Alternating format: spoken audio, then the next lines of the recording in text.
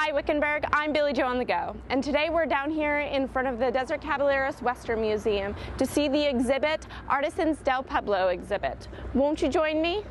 And today I'm here at the Desert Caballeros Western Museum with Emily Gordon.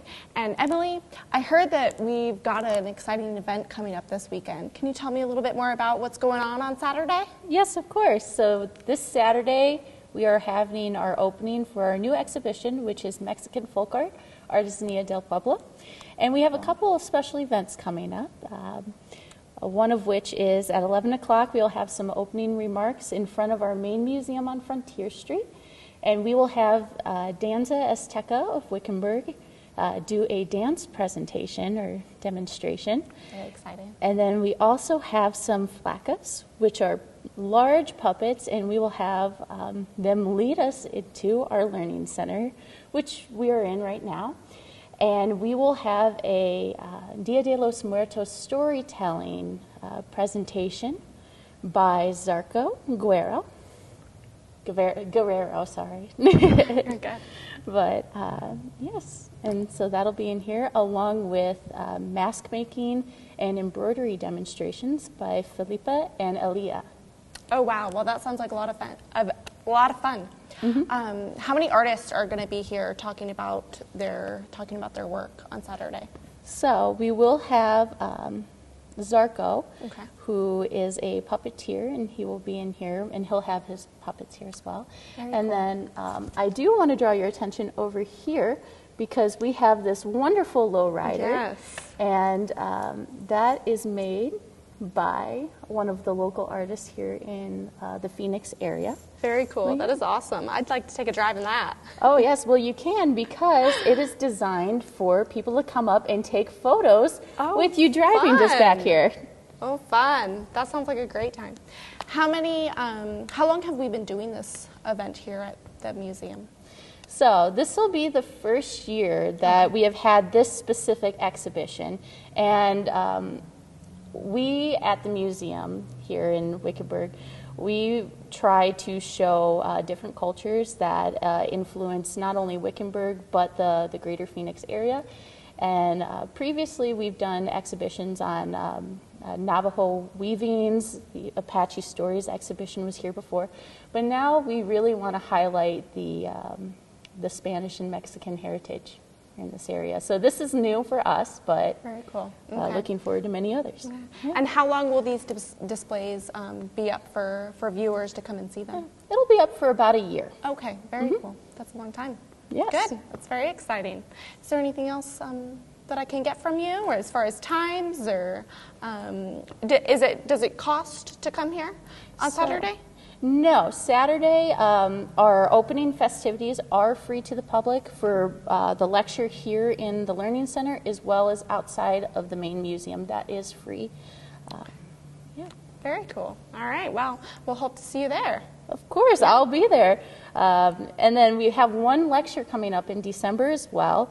Uh, our adjunct curator of history, Dr. Eduardo Pagan, he is also a professor at ASU. He is going to be talking about the uh, cultural significance of the Virgin of Guadalupe on December 8th. So mark it on your calendar. Yeah, for sure. Absolutely. Well, thank you, Emily, for joining me, and I can't wait for Saturday. Oh, I'm yes, excited. me neither. It's going to be wonderful. Yeah, absolutely. Yeah. Hello, I'm here at the Artisan del Pueblo exhibit with Janet, Janet Cantley. And Janet, can you tell me a little bit about the exhibit that we're standing in front of here? Of course. So Mexican folk art or Artesanía del Pueblo um, is going to be up for a year here at Desert Caballeros Western Museum. And uh, we developed it with a, a committee that included the Mexican consulate and Julie Brooks from the um, Chamber of Commerce here in Wickenburg and the uh, staff exhibit committee. And we're very excited to bring this very colorful journey to Mexico that goes through various regions and shows their traditional art forms that have been present for many generations, for millennia. And that's what we have in the case that's behind us. We have pieces that date, date back a thousand years, Wow. 2,000 years even. Yeah. And it shows that continuity of ceramic tradition that has um, existed in parts of Mexico. That's very cool. Can you tell me a little bit about your favorite piece, or do you have one? Or uh-huh. can you pick? it's like picking my favorite child. there are some really fun as far as a category of pieces. They're called alebrijes, and they're very colorful, fancy, fantastic figures that are a combination of animal forms with wings or uh, monsters, and uh, we have a case full of these fantastic mythological creatures. So I think everyone will enjoy that. The Very masks cool. are also a lot of fun, Yeah. and the masks, to understand their context, we give a little bit of background in terms of how they're used in a ce- celebration or in a dramatic presentation in the community. Wow, that's very cool. Now, the pieces um, that are behind us, Mm-hmm. um, do we do we know the artists or how long they've been around? We do. So there are some ancestral pieces that I, I said date back thousands of years, and from Casas Grandes. So unknown artists there, but then the, they have provided inspiration to contemporary artists. So we have known names for those artists uh, that come from the community in near the archaeological site of Casas Grandes in Chihuahua, Mexico. And we actually have an event here at Desert Caballeros in January that features those artists, and they bring their wares and they have demonstrations and sales tables. So mid-January, put that on your calendar. Yeah, absolutely, we will. All right. Well, um, now where are these pieces coming from? They're not traditionally in our museum. No, they, where are they? aren't. They're loan items, and they come from um, museums all Okay. over Arizona. There's a museum in the southeast corner, Amerind Museum near Dragoon. They, there are pieces from the Tucson Museum of Art and pieces from ASU Art Museum, the Very Heard cool. Museum, and then several private collectors that have been very generous.